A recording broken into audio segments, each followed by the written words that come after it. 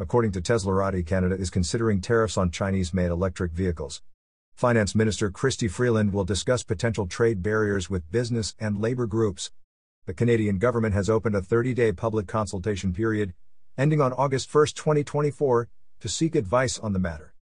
Freeland emphasized the importance of secure supply chains and national security in trading relationships. She hinted that Canada might follow the United States, which imposed 100% tariffs on China made electric vehicles in May. The European Commission also implemented tariffs ranging from 17% to 37.1% on China made electric vehicles earlier this month. For more details, contact Maria at Teslarati. You are listening to UON News.